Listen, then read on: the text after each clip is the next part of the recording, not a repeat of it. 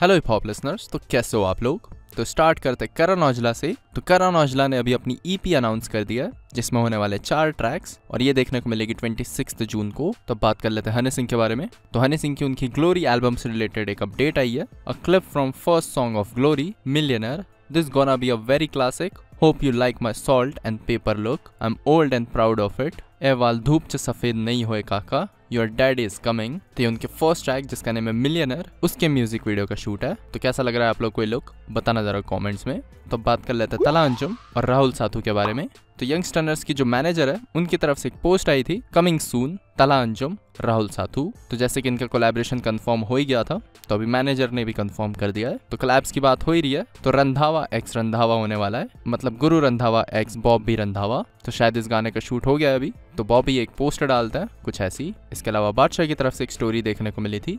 The first Indian artist to perform at Untold साथ ही चार दीवारी का ठहरा ट्रैक अभी वन मिलियन स्ट्रीम्स क्रॉस कर चुका है। तो बात कर लेते हैं नेजी के बारे में। तो Bigg Boss O T T three का फ़र्स्ट एपिसोड ड्रॉप हो चुका है। तो ये एपिसोड आप लोग जाके चेक कर सकते हो। खैर, इसमें जो इंपॉर्टेंट चीज़ें थी, वो मैं आप लोग को बता देता हूँ। तो लव कटारिया जो है, वो नेजी से एक जगह पे पूछता है कि एमी वे तो आपके बहुत अच्छे फ्रेंड होंगे।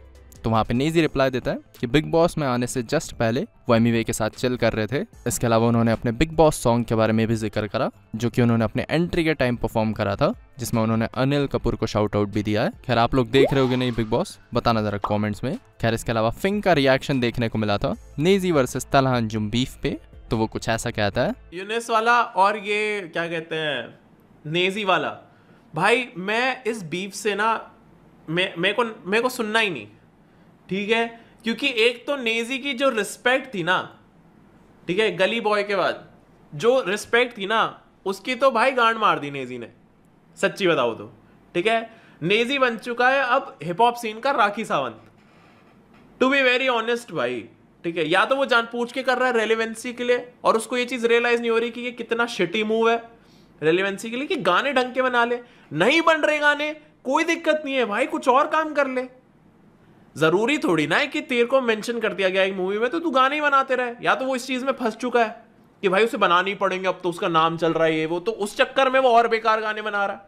और रेलेवेंसी के चक्कर में उल्टी सीधी बकरा है लोगों को, ये कर दूँगा, वो कर दूँगा। ठीक है? एक तो रैप वाला भाई फ्री स्टाइल तो छोड़ ही दो नेजी का। ठीक है? तो आई एम लाइक कि भाई नेजी कर क्या रहा है? कि क्या हो गया भाई ऐसा?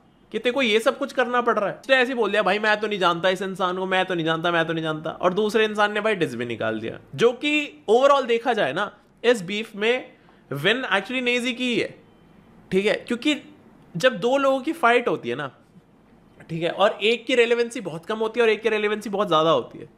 उन दोनों के बीच में फाइट होगी वॉट एवर द आउटकम कि, किसने, किसकी की ज़्यादा बेइज्जती कर दी, वो that doesn't matter after a few days what matters is कि भाई, जिसकी रेलिवेंसी कम है, उसकी रेलिवेंसी बढ़ गई। तो अल्टीमेटली बैटल वही जीता है। बेशक वॉर दूसरा बंदा जीत गया तो इसी के साथ मिलता हूँ मैं आप लोगों से अगले वीडियो में। तब तक के लिए बाय